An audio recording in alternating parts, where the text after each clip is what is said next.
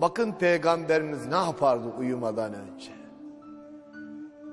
Seviyorum demek yetmez. Biliyorsunuz biliyorum biliyorum. Benim izleyicilerim peygamberi sever. Yarın bir yazı yazdım ben okuyun inşallah. Sabah gazetesinde. 10 yılda ne yaptık diye. Bir muhasebe yaptım. 10 sene boyunca yaptıklarımızı. Bir kısmını. 10 sene önce televizyonlara başladığımızda tavuktan kurban konuşulurdu. Kavga vardı kavga. Hocalar horoz gibi sa- sataştırıldı birbirine. Horoz gibi yarıştırılırdı. Bugün var mı ortada böyle bir şey? Bakın.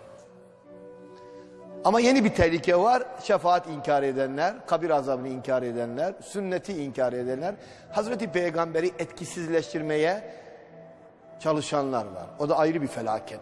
Mezhepsiz, tasavvufsuz, meşrepsiz bir anlayış. O bir felaket, bu felaket. Benim izleyicilerim elhamdülillah Hazreti Muhammed'i seviyor. En azından bunu becerdik. En azından benim bir hedefim vardı. Yıllar önce yola çıkarken bir derdim vardı. Hedefim de şuydu. Türkiye'de her evde Hazreti Muhammed'in adını andırır hale gelmek. Şu anda ATV'de herkesin evinde Hazreti Muhammed dinleniyor. Aleyhisselatü Vesselam. Bundan büyük şeref yok ya. Bundan büyük bir şeref yok. Ve siz izleyicilerimiz hepiniz bu işin ortağısınız. Bu sevabın ortağısınız. Yaptığım bütün sevaplarda hepinizi ortak ediyoruz. Çünkü biz sizinle bu işe çıktık yola.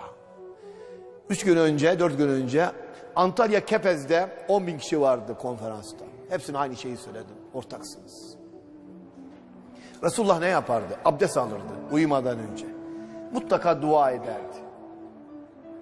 Ya Rabbi işlerimi düzene koy. Bana merhamet eyle, bizi affeyle diye dua ederdi. Kafirun suresini okurdu. Okumasını tavsiye ederdi.